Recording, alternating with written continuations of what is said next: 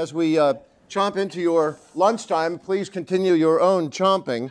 Uh, and uh, as a matter of fact, for a, a lunchtime uh, uh, discussion, this is a perfectly uh, appropriate set of distinguished guests to have with us. And in fact, how do we break the ice for a, a mealtime discussion? Of course, this might be it in today's new ad release, a little bit different style than our guests are used to. To show you just how much people are loving Taco Bell's all new breakfast, we asked some very special people. My name is Ronald McDonald. You're who? I am Ronald McDonald. I'm Ronald McDonald Jr., and this is Ronald McDonald III. My name is Ronald McDonald. What do you think? That's really good. I'm surprised how good it is. I love the new AM Crunch Wrap. I'm Ronald McDonald. Ronald McDonald. I'm Ronald McDonald, and I love Taco Bell's new breakfast. Delicious new breakfast everyone can love, even Ronald McDonald. I mean, then they. You talk about ambush advertising and things, but then they kill it all by actually displaying the product there. Uh, now, uh, if you want to find out uh, what that product actually is, they actually have a, a new combination waffle sandwich, which is, which is true. But it's often harder to satire in the food business for sure. Reality it gets.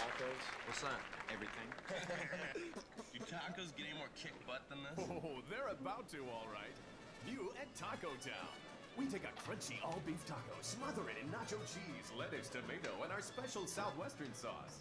Then we wrap it in a soft flour tortilla with a layer of refried beans in between. Sweet. then we wrap that in a savory corn tortilla.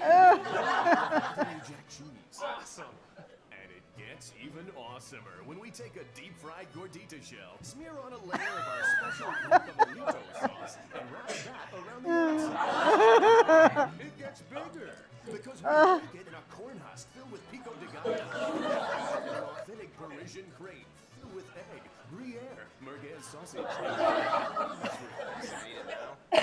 Sure. But not before we take the whole thing. style deep dish meat lovers pizza. I love that. That's what I call a taco. well, it's not a Taco Town taco until we roll it up in a blueberry pancake. Until it's golden. Can we get a copy of that oh, video? Oh, sure, absolutely. Just show it in our office. The new pizza crepe taco pancake chili bag. Only at Taco So there they are. If McDonald's wanted to figure out how to do the retaliatory advertising, Saturday Night Live already has their retaliatory piece ready. And if nobody else in the room liked it, uh, because I only grade some of you, so maybe some of your laughter was sincere, so maybe it wasn't. I know that our distinguished guest Tim liked it, and he's already asked me for copies of it, so uh, we'll get that off to you. But in case you didn't like it at all, to help bring a little dignity, to, dignity and wisdom and erudition to the event, we're lucky to have, uh, to, uh, that is in addition to our guests, have uh, Ravi Dar, of course, who is a uh, quite renowned scholar, as many of you will probably all know Ravi in the world of marketing the director of the Center for Customer Insight, a, a quite a prominent uh, marketing scholar here. You named the award, he's won it, but this is not about Ravi, so I won't do the full introduction on Ravi, other than he wants me to tell you that the reason he is attired like this, he wants to look like the chief marketing officer, and he said for me to be the CEO, I think for me to be the undertaker is more like it.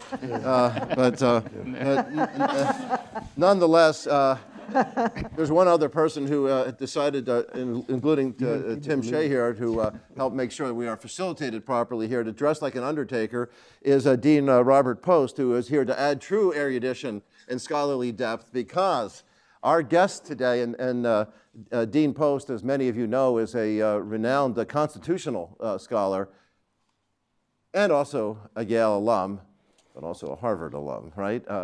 as you are too, Tim, right? Yeah, so uh, we have uh, various bases covered. Uh, but uh, I can say this, uh, as I intended to mention this, without Dean Post in the room. It was a Harvard alum, happily, not a Yale alum, who did say that, referring to uh, law schools, but he might have made, meant professional schools in general, said that law schools, this is Oliver Wendell Holmes, had said this, I think our longest reigning Supreme Court justice, maybe 30 years, 40 years as a judge, uh, he said uh, that they think they make, uh, law schools think they make minds sharp by making them narrow. you know, sort of the pointy type. Uh, but what's important is that the Yale Law School, that's never been the case. And we could take any, any handful, any fistful, any, any portfolio of past or recent graduates to make the case, or the scholarship uh, and, uh, on their faculty, and to see that there's a very rich portfolio of minds. But our guests today are perfect examples how law schools, in fact, do not necessarily lead to narrowing, uh, even though they improve their, their wisdom and certainly their erudition and their eloquence. We have uh, Nina and Tim um, Zagat, who, of course, are both uh, great uh, graduates of the Yale Law School, and in fact, were both practicing attorneys at the time they founded the famed uh, Zagat uh, surveys. They married during law school uh, and uh, graduated, I believe, in 1966, moved to New York, where they became corporate lawyers. Uh, she was at the, uh, the white shoe firm of Sher Shearman Sterling, and, and, and, and, and Tim, Nina was there, and Tim was at, I believe, at Hughes Hubbard, at another equally distinguished firm and they went off uh, to compile their own list of favorite Parisian restaurants, what they liked and didn't like, and that helped lead to uh, a giant leap, which I know Ravi wants to understand how they got from that giant leap to the idea for a new type of restaurant rating guide. It might have seemed obvious to them, but an awful lot of people toured Parisian restaurants before them and didn't seem to come up with this idea. And they returned to New York. They solicited opinions of friends about New York restaurants, and the resulting compilation, of course, became this, uh, this Bible of dining, which we, we, we all know, and which uh, Ravi and I, we always carry. Rob, do you have yours with you by chance? Yes, right we, there, we yeah. never go anywhere without it. Just never know you're going to have a guest and need to race off somewhere. Although I shudder to see how New Haven comes up in the book. Here, we'll t- take a look. Uh, and uh, the, the, the, guide was first published in 1982. Uh, it was uh, in New York City, sold for, uh, it sold about 7,500 copies. Uh, then, uh, two years later, it was already 40,000 copies a year. And they quit their jobs as corporate lawyers to devote, to devote a, a full time job to actually having a lot of fun at the same time to produce this, this great guide. And I think in um, 2011, I, I, think is when you guys sold it to, to Google. Yeah. That was right. Uh, if to be indiscreet, I think it was for 125 million. But who wants to talk about money here at a Venus School of you're, Business? You're, uh, you're, getting a little low there. Oh, oh, okay. I thought it was a little okay. Well, there are some big earnouts involved in it, which I'm sure I missed in the deal. And uh, uh, one uh, in describing the methodology, it's been described uh, in, in, in, an awful lot of ways. Uh, where we just take a look at the the at the rating system for its pioneering approaches. It's, they've been extremely well decorated. At one um, NASDAQ event, I must say that I, uh, I went to um, uh, that was for uh, leading NASDAQ uh, companies uh, probably about a dozen years ago. they were there, and they were with you know Meg Whitman, all these great stars of NASDAQ. Craig Barrett, the, C- the then CEO of, of Intel, was there, and the, the real stars of the event were the two of them until Ravi did a presentation. And everybody raved about Ravi's presentation. And I spent the rest of my time trying to make great contact with these superstars, Tim and Nina, to talk about our CEO summits and things. And all they wanted to do was to talk about how brilliant Ravi was. So uh, maybe that was Ravi at his all-time high, but I don't know. But is, uh, but anyhow, so I, we, we realized that this this talk could not possibly happen uh, with, without Ravi. Uh, if I go on a sentence longer and, and read through the, the tremendous awards uh, pile that they have as Entrepreneurs of the Year by uh, Ernst and Young and the Food and Beverage and the Hall of Honors and Hospitality and the rest, if I went through the details, they won't have a chance to say a thing. Uh, so let me, if I could, uh, turn the, the show over to, uh, to, to, Tim and Nina, and, and welcome for joining us today.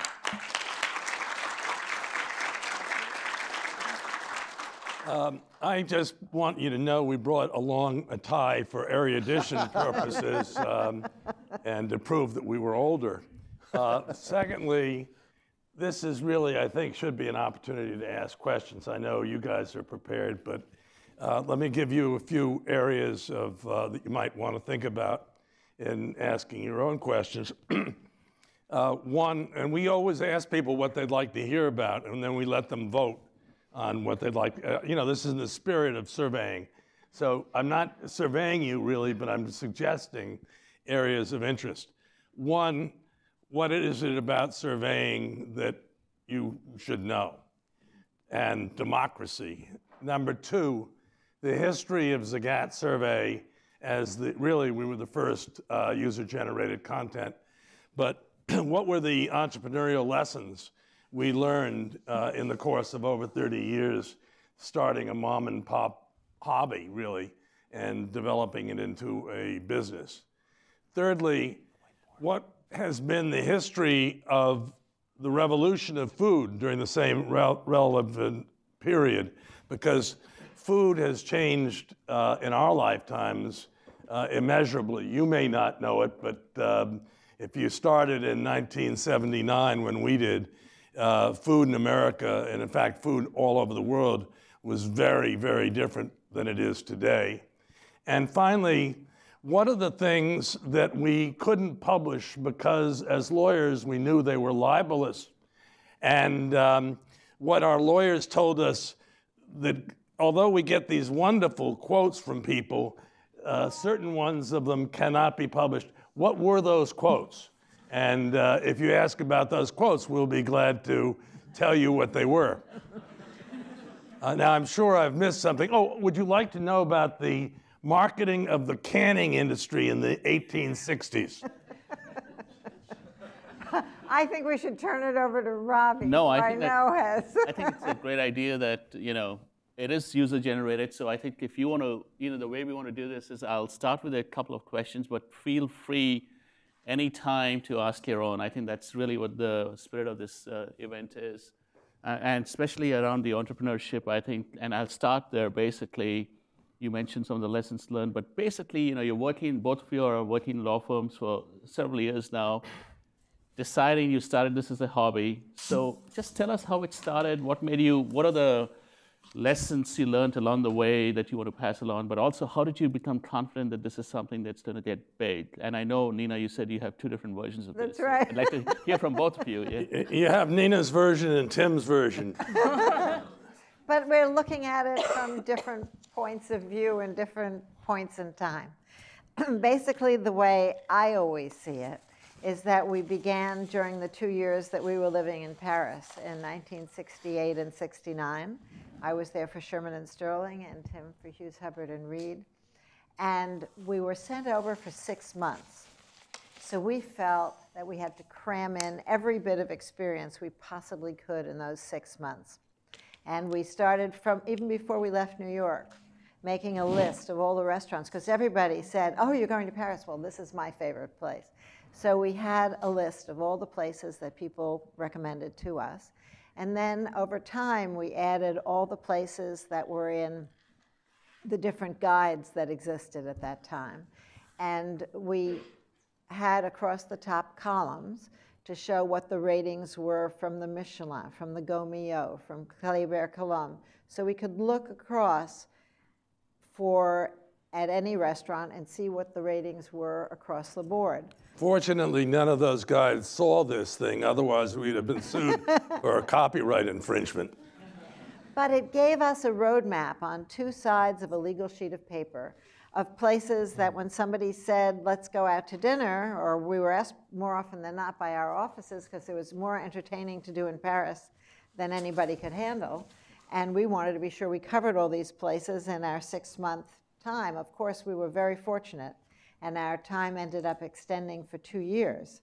So we had, you know, more and more time to grow our list, and everybody wanted copies of it. It was extremely popular because here was a very convenient way to get a lot of information about restaurants. We also showed the type of food that they served, and um, it just was extremely popular. So that, to me, it looks. If you looked at it, you'd see how similar it looks to our first New York City survey, and it was sort of the bud of an idea.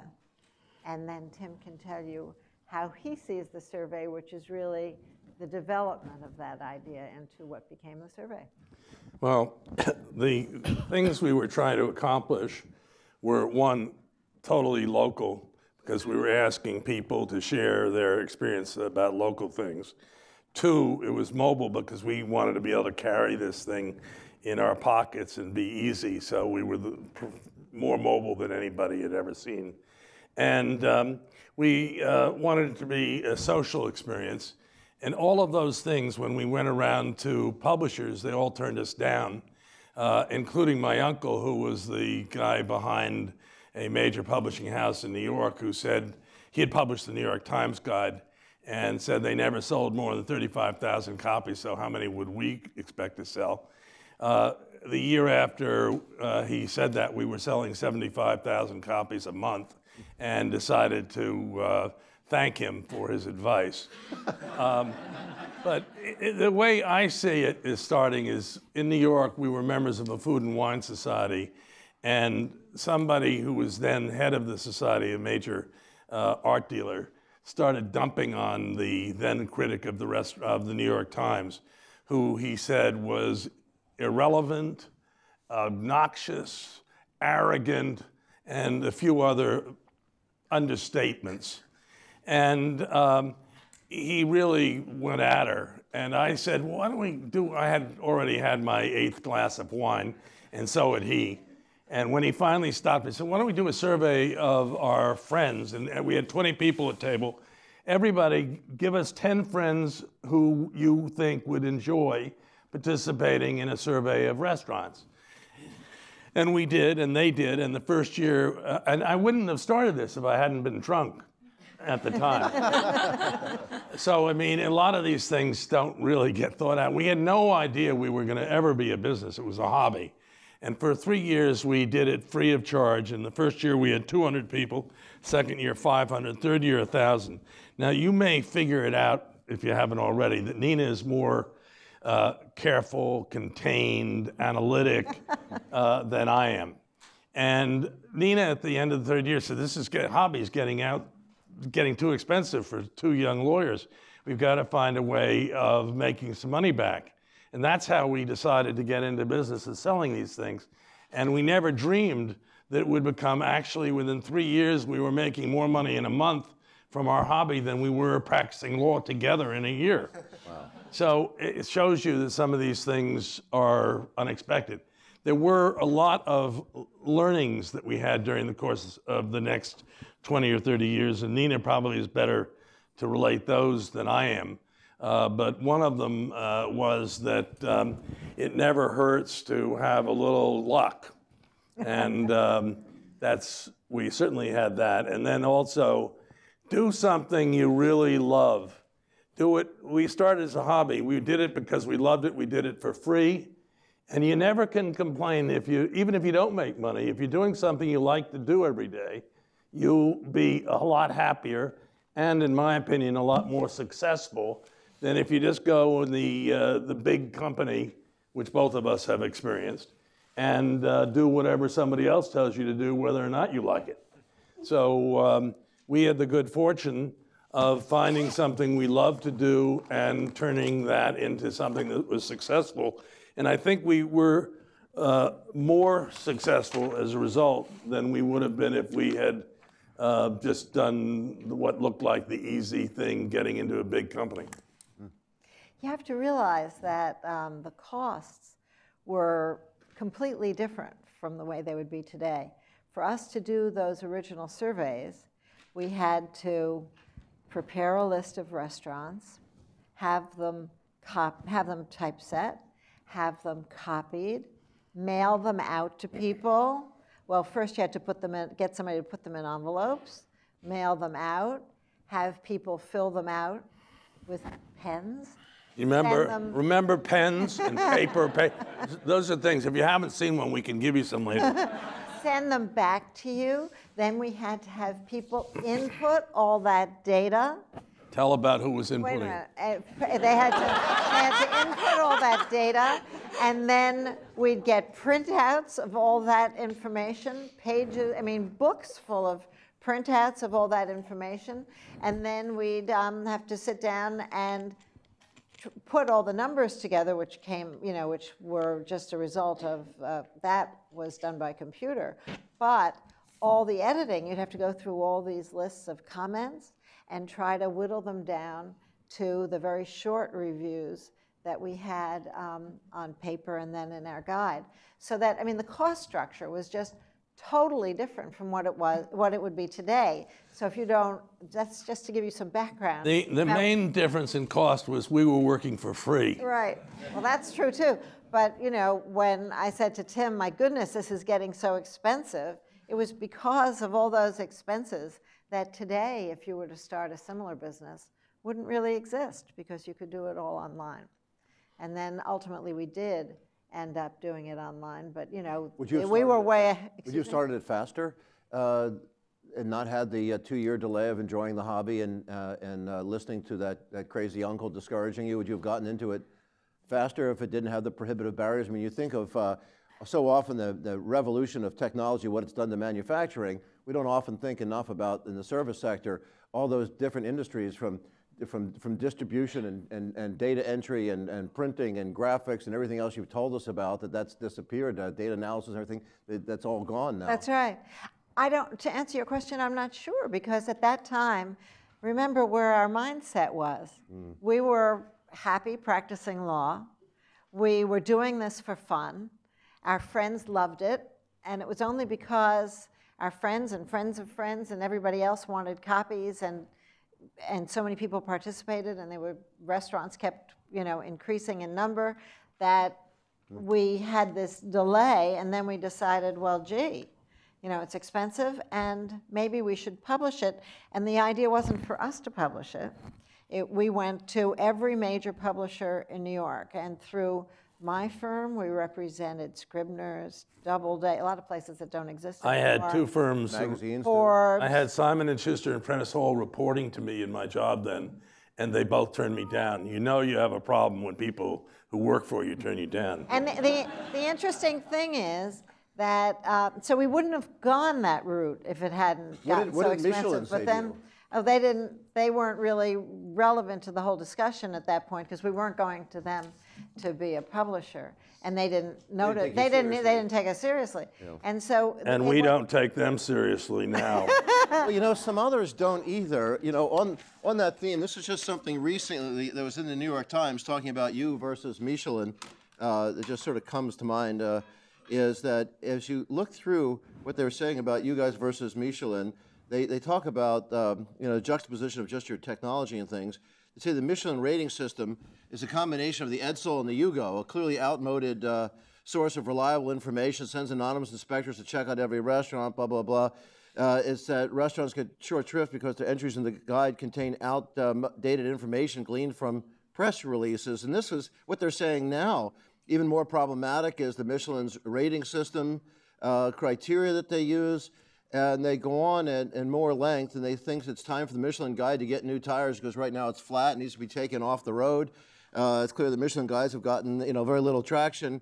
Uh, you know they talk about how the Michelin Guides will you know focus on the kinds of flatware and stemware that's being used, and, as opposed to the food. Uh, is, how come they didn't learn in the last 30 years? You know, You'd I think they might whoa, whoa, whoa, whoa. I just, you, you're doing everything you do, I want a copy.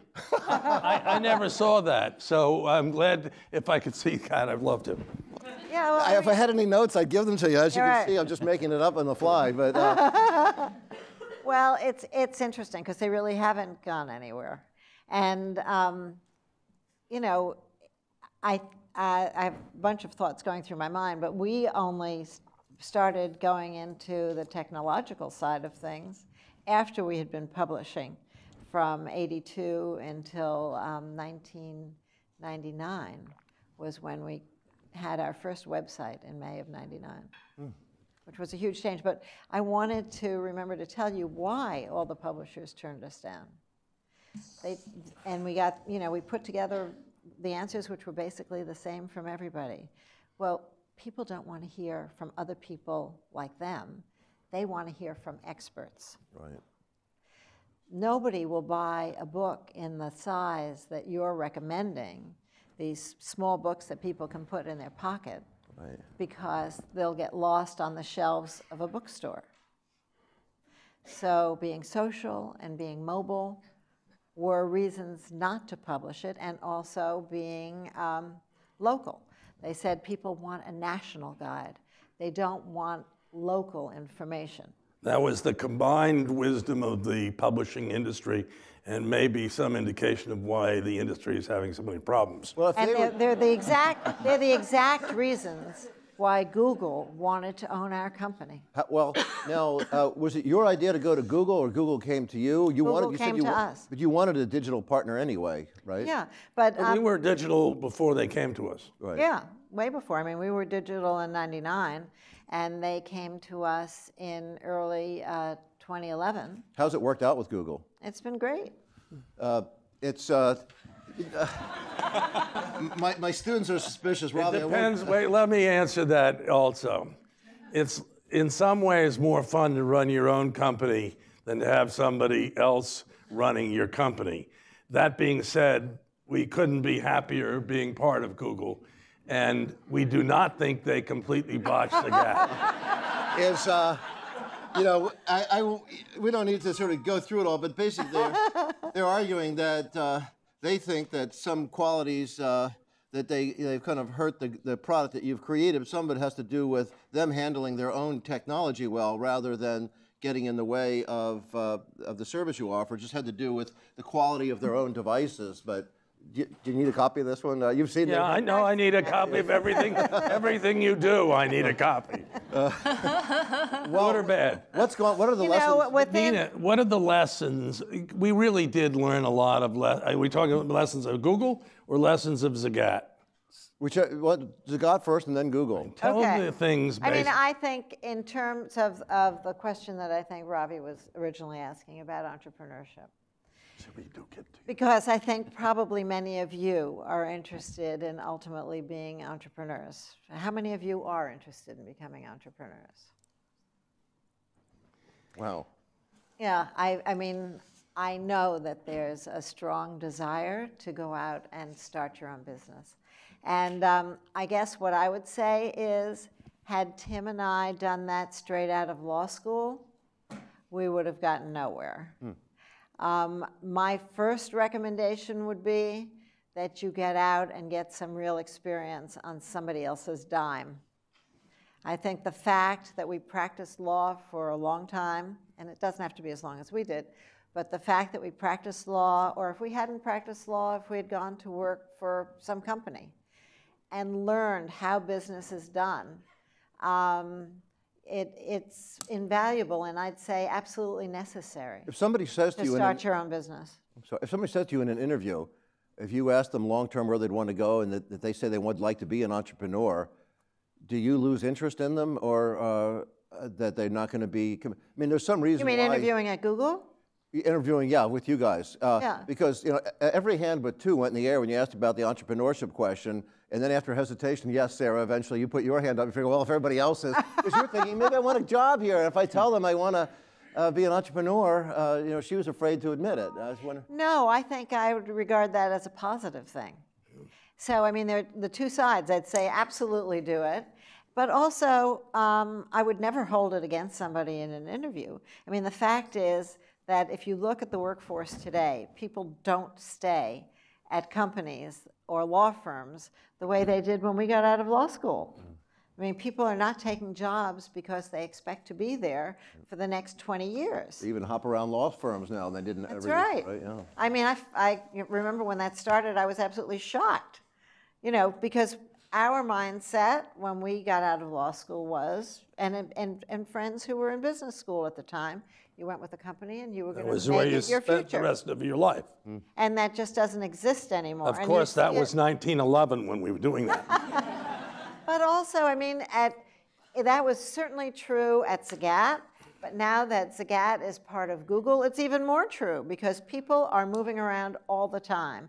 And in fact, part of the retention uh, approach at Google is if you want to work in another part of the company, you let the HR person in your area know and they'll help you move oh. to another part of the company. Hmm. So that, you know, if you want to try something different, we at least don't have to lose you. So Google's been good for recruiting talent then too. It's opened up more. great. career- Oh, yeah. absolutely. Yeah. It's Absolutely. been voted year after year as the number one place to work in the world.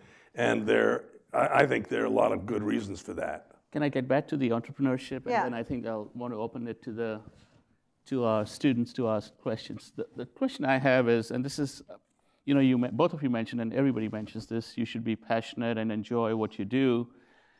And You have to be. and it's true about our research as as what we do also. But there's always this tension between, you know, if my passion is sufficient when I'm getting feedback, you know, this will not work from the publishers in your case or the restaurants, and who the hell are you guys who going to evaluate us?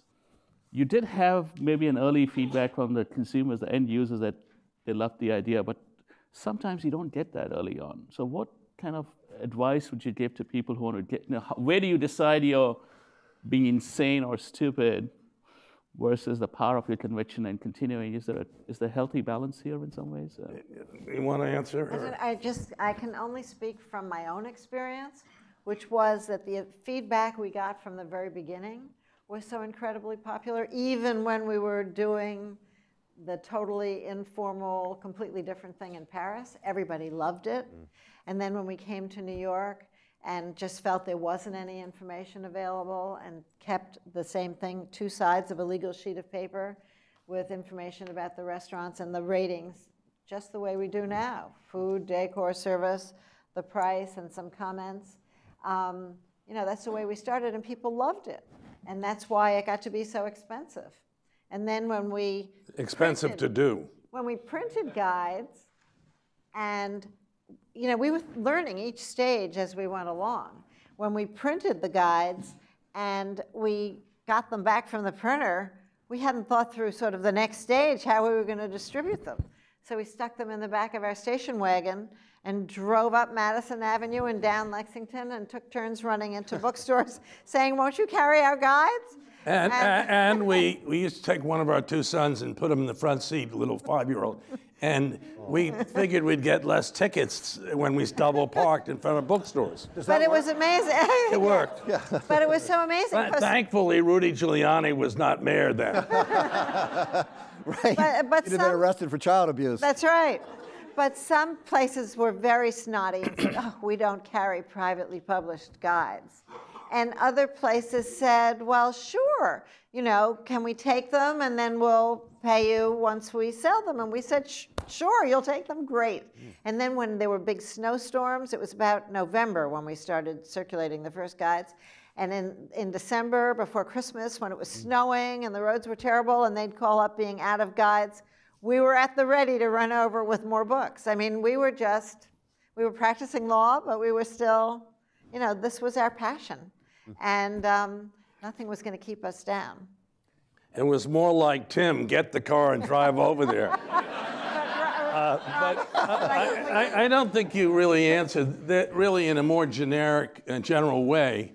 Um, you know, there are lots and lots of ways of starting companies, and there are, for every rule, there's an exception. You have uh, Larry Page and uh, Sergey Brin, uh, who didn't finish college, or they did, I guess they had uh, but then you get uh, Bill Gates, who didn't finish college. Well, that was Harvard. Yeah, we, you know that. uh, but you have a lot of people who are very young who get an idea and go with it and have not had as much education as we probably did or as experience. But education and experience are good things, and they help. Uh, it helps also to be brilliant and have an idea that nobody's ever thought of as that's a great idea.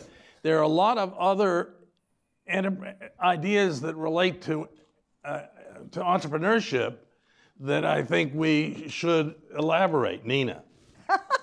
Well, particularly, what did you have in mind, Tim? Oh, come on. come on.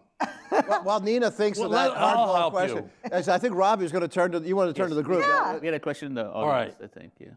Go ahead. Uh, sure. So I had a question about, um, you know, oftentimes when you have something that's a passion, you really enjoy doing it, You, know, you love food and wine and traveling and whatever. Um, how, when you try to make that transition from something that's a hobby or a passion to a business venture and it's really your livelihood, oftentimes you, you hear about people sort of, you know, that sort of loses part of the, loses, you lose some of the love for it because. Make sure you press your buttons, by the way, I'm told, but I'm sorry. You, lo- you lose some of the love for whatever it is that you have as your hobby when it becomes your, your life because you're actually depending on it for you know your livelihood. Um, were there ever moments like that with Zagat, um, or had at that point it become so successful you didn't really have to worry about that? But um, what would you say to, to that? And one thing about what you said that is, reminds me of another general rule it's never a bad idea to have a separate source Right. of income when you're doing your crazy idea. So we were both practicing law and uh, did not need to rely on the business until the business reached a stage where we could. We didn't do it until we knew that our business was going to be a success. And then we did it in turns. Tim went first, and I kept practicing law. And then a couple of years later, I also joined. So, you know, we were doing it uh, first, both of us working, and then, you know, we did it in stages. So we were very cautious. And we never were in that, the position you described, which I agree would be very difficult. Also, there are times when doing what you love still entails its work. And you're doing this, you know, 24 hours a day or thinking about it and working 12 to 16 hours. It can be work. Uh, it happens that it's much nicer to do work you like than to do work you don't like. And you could be in an investment bank or at a law firm working the same hours and hating it uh, and not working for yourself. So it's a, it is a trade off. The other thing that I think needs to be pointed out everybody thinks of us as restaurant guides, but we do nightlife, shopping, travel, landmarks, hotels, movies, music, theater. And what we do, I think, could be, and I'd love to see it applied to a lot of other areas, including uh, democracy.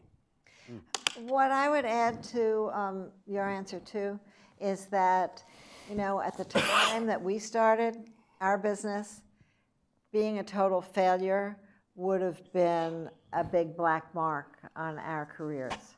Today, people are much more ready to start new businesses, and failure at um, an entrepreneurial venture is generally regarded as a step towards going into your next one. So it doesn't have the same negative connotation that it had in, um, you know, 1980. It's completely different. Your parents are not going to say you're an idiot for doing this when they you say, "Dad, I'm like Bill Gates." Right. No, but I mean, it, you know, certainly throughout Silicon Valley, it's sort of, you know, a good thing. There's a question over here. Um, maybe talk about the benefits and challenges of starting a business as a couple and running a business as a couple. Maybe share some anecdotes that relate to that. First of all, you better have a good marriage. uh, second of all, um, you know, like any other business, there are times when we disagree, and every business you will disagree with people. The nice thing is we're we know we're trying to get to the same place, and we're not being political. So when we're all rowing on the same oars, we I know that if Nina disagrees with me, nonetheless she's looking after the end goal that I am, and vice versa, which makes it a lot better to um, collaborate and to disagree. But also, I think um, it's what the key to our being able to be successful together is that we have very different ways of looking at problems and different talents. You know, if we were both exactly cut out of the same cloth, um, it would be much more difficult. But the things that Tim's best at are the things I'm weakest at, and the, and, and the opposite. I mean, Tim, you know, I was the one who insisted that we spend what at the time uh, we both thought was an ungo- ungodly amount of money in creating Zagat.com. Um, and I was always the one who was the most frugal one in the business, making sure that we didn't spend too much. But I somehow just believed in this and knew so strongly that it was what we had to do. And finally, Tim said, All right. You know, so That's when she threatened to stop my uh, expense budget for meals. But anyway, I, I think I think you have to look at the array of talents and make sure that you've got the different bases covered that you'll need to do a business. It's a really great question. Now, so many times we hear about the romantic view of the mom and pop shop as, a, as what it takes to launch that kind of business, but I think it's just as impressive to have a, at least from the standpoint of, of my friends, having a 45 year marriage stay together, let alone a 32 year business. It's to do them 49. both. Uh, 29, 29, okay. 49. 49. 49, 49 years. 49 next week. So you, that's right. So, Robbie, I, I thought you were going to wave your finger at me and say, "How could you marry a girl at 11?" Don't do anything to upset the two of them today, all right? We got one more year out of this at least. Okay, good. There's some other questions, Robbie? Can I just say, nobody has asked what everybody always asks what are the things that we couldn't publish? We have a, a thing called takeouts, which we have the best one liners. And since nobody has asked, I think I ought to mention a few. You're too polite. Uh, this is um, also known as Ebola Cafe, Suffers from delusions of adequacy. filled with flowers and all the things that make flowers grow. How do you say roadkill in Chinese? Um, this is one that got us into real trouble because I thought it was risque. And our, I went around to our women editors and said, Could we do it? And they said, Don't worry, do it. And there's a restaurant called One If by Land, Two If by Sea in Greenwich Village. It was the old carriage house of Aaron Burr. And you recognize the restaurant because half the men are on their knees offering little boxes with jewels in them to the women at their table. And it is very romantic. And so we reported that it was extremely romantic and had firelight and violin music and great beef Wellington. And then the one liner, which was literal, he said, If this place doesn't get you laid, nothing will. and, and uh, What's the name of that place again?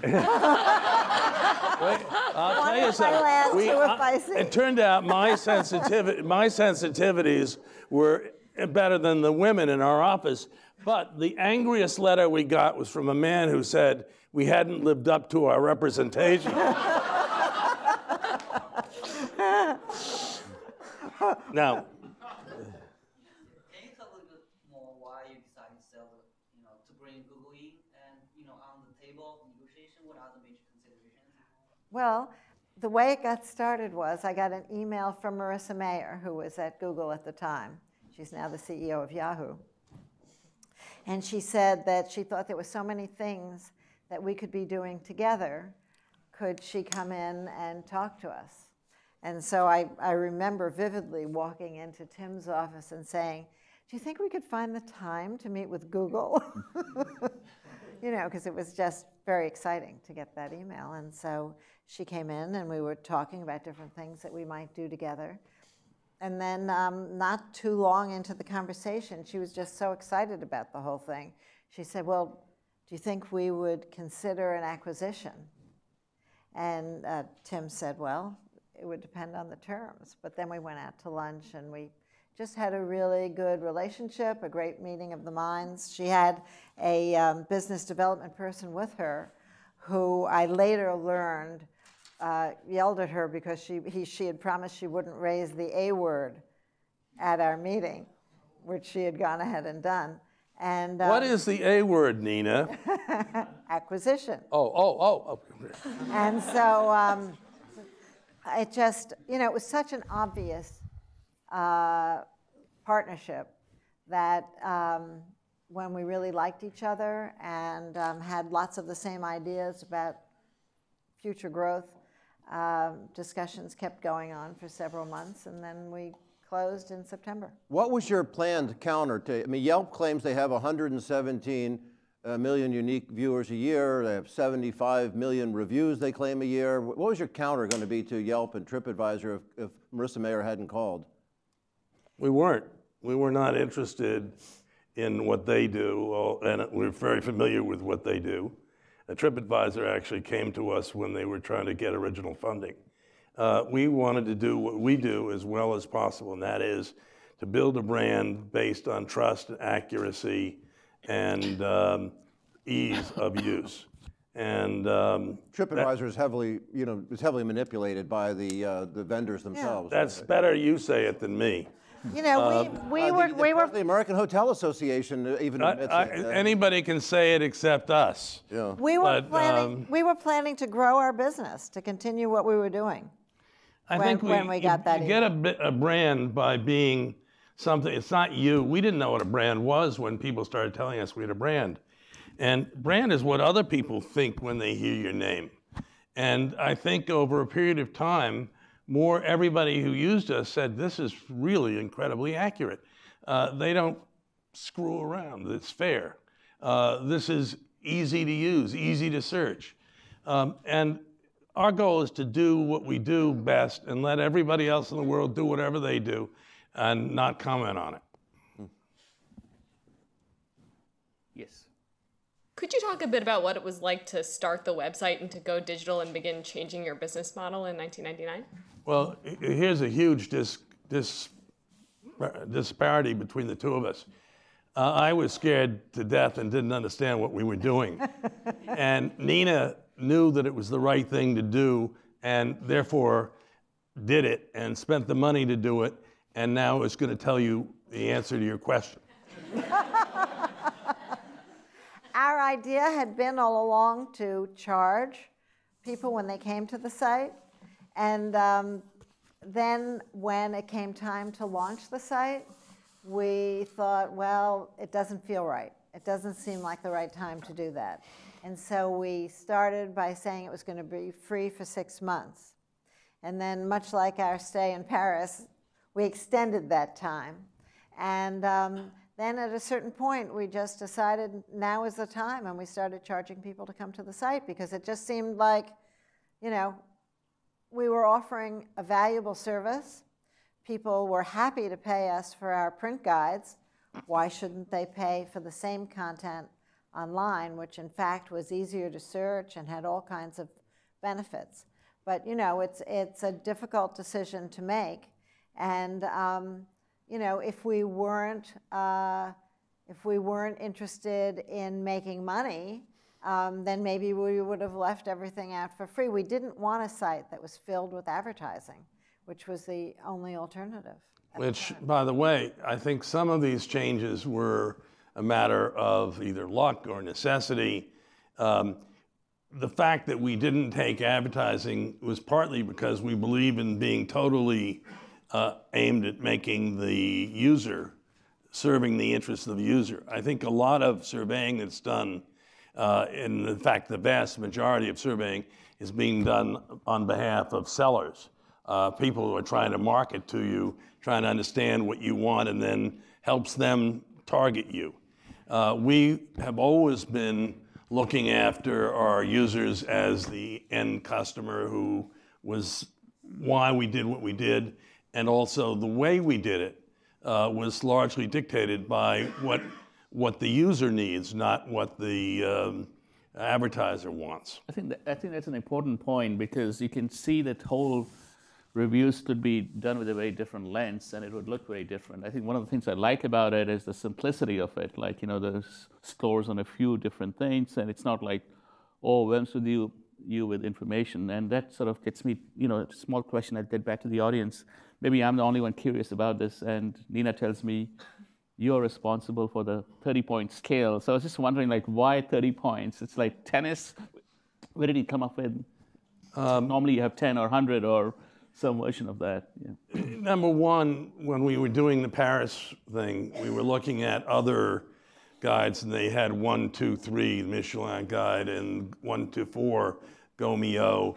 And I just didn't think, I thought one to three, one to four was a uh, generally used uh, standard or range in those days, but uh, I didn't think it was nuanced enough, and I didn't think it gave people enough uh, information in defining uh, what the experience would be. So I said, let's multiply it by 10. And that's all. I think it turned out we were right, but not everybody thinks that. And uh, if you look at an awful lot of people giving rating scales. Most of them in the US use zero to five, which I find is, um, it concentrates everybody around three to four and doesn't help people as much as it could. And over time, the feedback on our voting scale has been great. People love it, and they know what it means. Great. Yes. Um, Great hat. Thank you. um, I'd love to hear about some of the talks that you guys had with Marissa about what Google and Zagat's could do together, maybe five, ten years down the road. Like, does she have any kind of sci-fi ideas with Google Glass or something like that that Zagat's could play? Uh, let me uh, again briefly introduce Nina Zagat. um, Nina really, the, the negotiating process between Nina and Marissa was unbelievably brief. We had a deal and we closed it in a month, which is very unusual for a deal. And the second thing is, Nina, and if, if I had been in the room, I would have said, yes, yes, let's do that. You know, every time Marissa mentioned a number, I would have been so excited. And uh, Nina would say, I think that's not quite up to our expectations. or, um, she was the negotiator and did a hell of a lot better job than I ever would have done. And also, Marissa and Nina spent more time together talking about goals. Uh, to the extent that Marissa, that Nina can answer your question lawfully, um, go ahead. well, you know, it was more, more 10 years down the road is um, a, long, a longer view than we were discussing and really than um, uh, goes on in most of the planning. I mean, the planning in everything that we do changes so quickly that um, a, a 10 year horizon is um, sure pretty long. Like, you're not betting on things 10 years down right. but you could be like, oh, really cool. Well, what, what we were talking about mostly was being able to cover every, I mean, in our vision was to cover every place in the world. Did she want you to do a reservation system like Open Table or anybody else in encroaching space? We, we were not planning to do a reservation system. Although, although we did have a partnership with Open yeah. Table. You could reserve through us.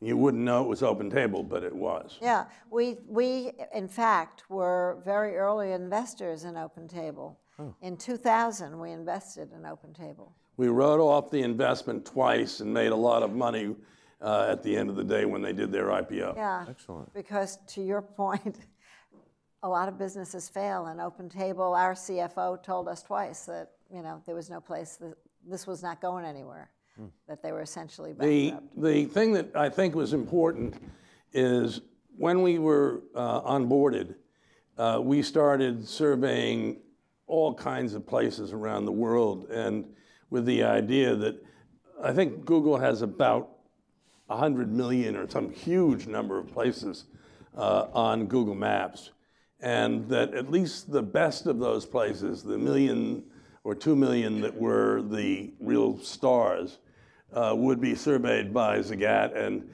the Zagat brand would be kind of a badge of honor for the better places around the world. But you know, and, and the reason um, for the short timeline was uh, Tim and I knew that our very busiest season would begin in September. And either we had to know that we would close this deal by September, or we had to get busy doing our, you know, regular expansion. So, uh, you know, we really focused on either this is serious or it's not serious. Either we work out our questions or we don't. And so that's why everything was very short, and we didn't really have as much time as um, might have been possible. We were- Blue sky things for the very long range, but basically what we were talking about was how to cover all the places in every vertical. We were also might want. We were also sworn to secrecy uh, by Google, and that had the uh, additional effect that there were only two of us who, or actually three, who knew that there was anything happening, and therefore we didn't have enough people to go deep into the documents uh, and do the normal due diligence we just uh, had to say, oh, we can't do that. It was just Nina and Tim. I think we have time for one last question. Yes. Number three, food developments over the years. Ah. Ah. Um, the long version or the short version? Uh, the three minute version, yeah. All right. Uh, um, literally at every level, from sophistication and interest of diners to education to the ingredients that are available and to their uh, shipping and packaging, to the uh, diversity of cuisines, uh, to the literally every, and to the number of restaurants and to the efficiency of, of dining. The average inflation over the last 35 years in New York restaurants has been about a little over two and two, two and a half percent. Uh, everything else has been four percent. Now that divergency becomes major. The fact is that more and more young people, young business people, young lawyers, uh, eat out as a way of life and have to, and they're better off spending 30 bucks at a restaurant than going home an hour early and annoying their bosses. And particularly when their time is being billed at $200 an hour, um, you're better off being in the restaurant. There isn't an element of the restaurant industry that hasn't changed. The 1966 uh, Immigration Act opened the country to Asian immigrants and South American immigrants. When we first started, we had 19 national cuisines reflected. We are now over 90 in New York. I mean, the difference is so amazing. The School Lunch Act, when I went to school, I hate to uh, date myself, but when I went to school, I carried a lunchbox with whatever my mother put in it. And at some point after the School Lunch Act went in, 1960s, 70s, 80s, every school had a cafeteria. So you were all brought up going out to eat. You didn't have your parents cooking for you and putting a sandwich in. So you're, you were completely acclimated and trained to eat out, and you will always eat out as a result. Anyway, there's lots of lots of other things. I think that should be a book about it. Well, and I bet there should be another book that you guys write on it, and uh, we'd love to see it written. For those of you who can't wait to have that book written, some of you are fortunate joining us for lunch uh, afterwards. Uh, the caterer is uh, Casey, so we're very worried about what kind of review we're going to get. We didn't just use Yale Dining for lunch. Yes, Tim? Could I ask everybody here, you were eating and we were suffering. Um, uh, would you put up your hand if you thought your lunch was uh, good. That's a one. One. Just put up your hand if you thought it was good. Uh, would you put up your hand if you thought it was very good? Two. Oh. Relative to what we usually hear? Yeah. All right. Two. Good qualifier. Uh, would you put up your hand if you thought it was really great? Three. I've never seen a three at any business school I've ever spoken to. Well, uh, you know, that's well done. There's something where uh, we should close right now and thank our guests, but of course, I never do what we should do. If you could spare another 20 seconds, this is just for Tim, since some of you will have seen this uh, in my class before, but Tim would want to know how we close out such a session. Yes. Hi, do you have a table for dinner? How many in your party? I'm alone.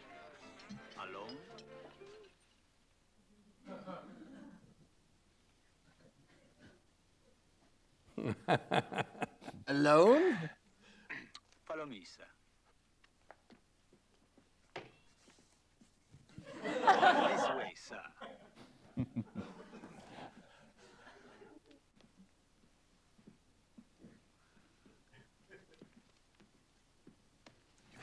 front.